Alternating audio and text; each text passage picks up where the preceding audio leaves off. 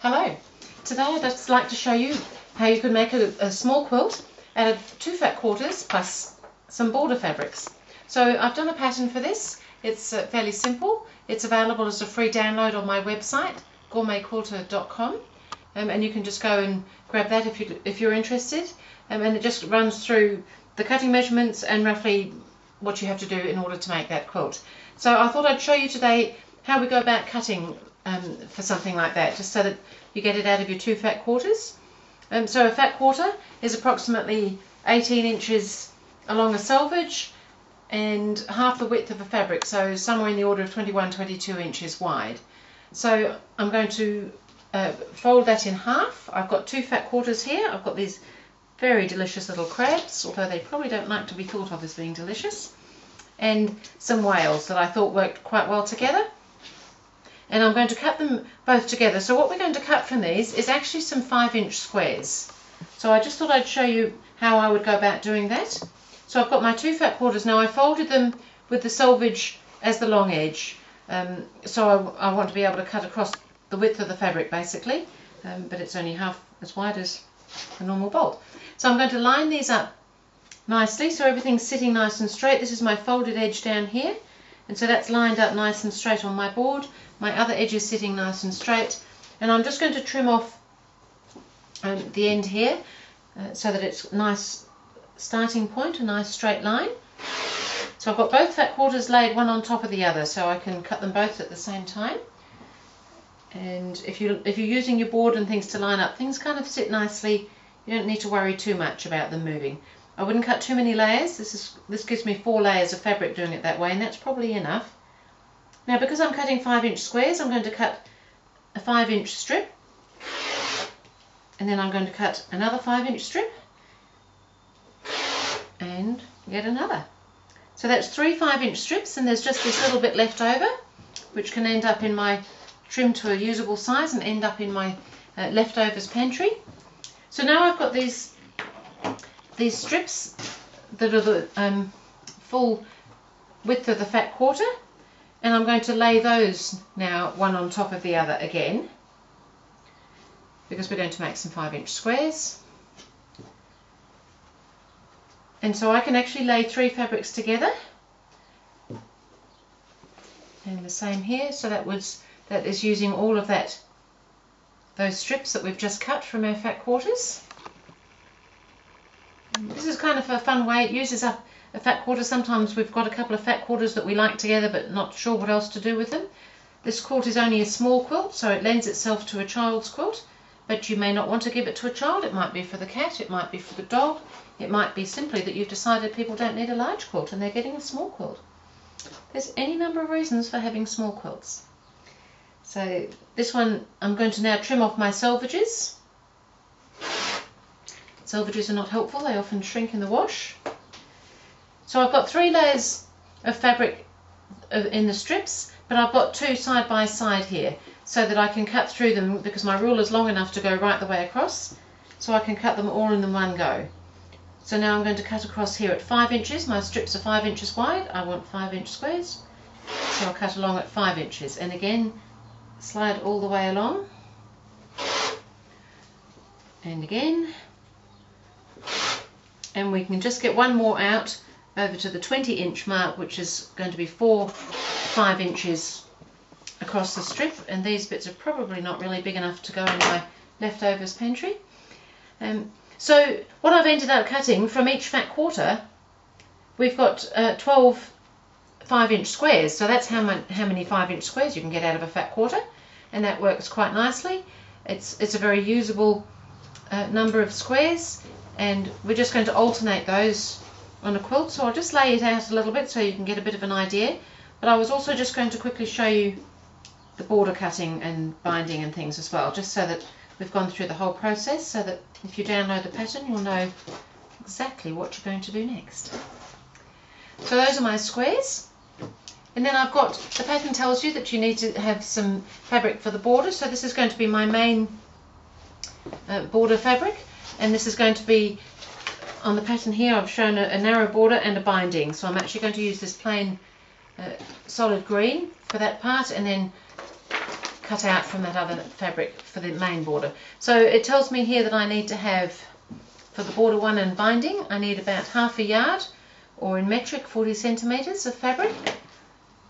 And again I'm going to, so this is the full width of the fabric now, and it's folded over in half, and then folded again. So just make sure everything's sitting nice and straight, and you can cut through that all in one go rather than having a great long length that you're trying to deal with which is a little bit difficult. As long as everything's sitting straight and you can line things up so they're nice and straight, that should work nicely for you. If, if your fabrics are a little bit skew-if, you could end up with some difficulties, but hopefully we're okay today. So I folded that over in half and half again, and now I need to cut for my border one and bind border one, I need to cut some one and a half inch strips for the that first border around.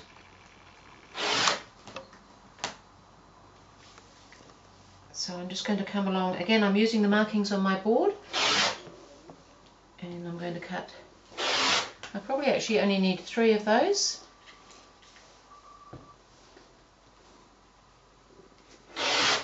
And then for my binding, I need to cut four strips and I usually cut my bindings two and a half inches wide so I'm just going to continue on now and cut those.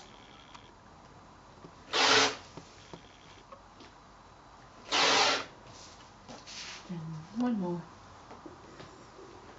And there's a little bit left over in case you find you do need another bit for that inner border. So that can go over there ready to be trimmed for my leftovers pantry. So that's my four binding strips. But when I'm doing a quilt, I often do it this way. I get everything cut out before I sew. I like to have it all ready to go. Now this is my main border fabric. Again, it's the full width of the fabric. And I'm folding that in half in half again. Now because this has kind of got straight lines in the design I probably want to just be a little bit aware that it's not going to sit too crooked. I'm not going to worry if it's just a little bit skew-if but I kind of like to make sure things are reasonably straight. Um, and everything's looking pretty good. Things are lining up fairly well there. And the same thing, I'm going to line that up on my board. So I've got four layers of fabric that I'm cutting through. That seems to work okay. And for this one, we needed to have for the main border 5 eighths of a yard or in metric 50 centimetres and we need to cut that into four and a half inch strips and we'll need to cut four of those. So I'm just going to come along now, I've just trimmed off my edges so I've got a nice straight edge to start with and come along to the four and a half inch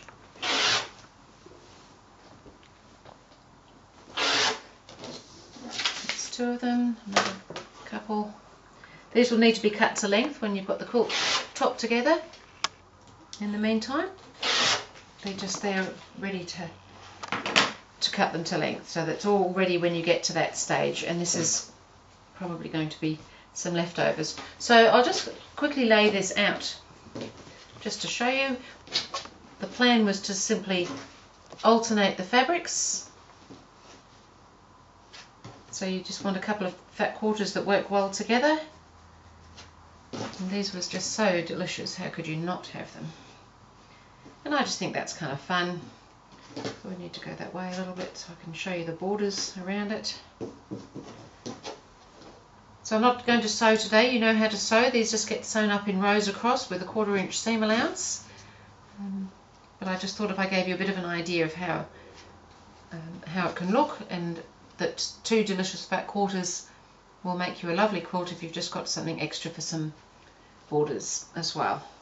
So then I would be having my narrow border which will of course be cut to length when we get to that stage. And I can probably show you three sides. And then this is the main border. So remember the seam allowances will be coming out of this so everything will be just slightly narrower. So I probably would put my sides on first and then I do the top and bottom. Go there and then this one's going to be longer over here just to give you a bit of an idea of what that's going to look like. And then again I've got this uh, this yummy green for the binding. And, and we've got a little bit of green in our crabs here, so I've picked out the green and it just kind of works really well with all those other fabrics. And then I've got a very delicious sailing boat to go on the back. So that's going to be kind of a, a fun quilt. Probably um, somebody who likes sailing or maybe somebody who's just a little bit crabby might like that one. Um, so that was just to show you how that works with two fat quarters plus some borders and I have made a quilt so I'll quickly show you that. And this one has got owls and trees and things on it and it's kind of fun. It's, it's a very usable size for a small person. Um, it would be nice on a table. Maybe you'd like to make one for your, your pet. The cats and dogs love quilts. Or, as I said, maybe somebody only needs a small quilt. So that was just that idea. Don't forget, if you would like to, you can download that pattern off my website, gourmetquilter.com, and it's free. So thank you.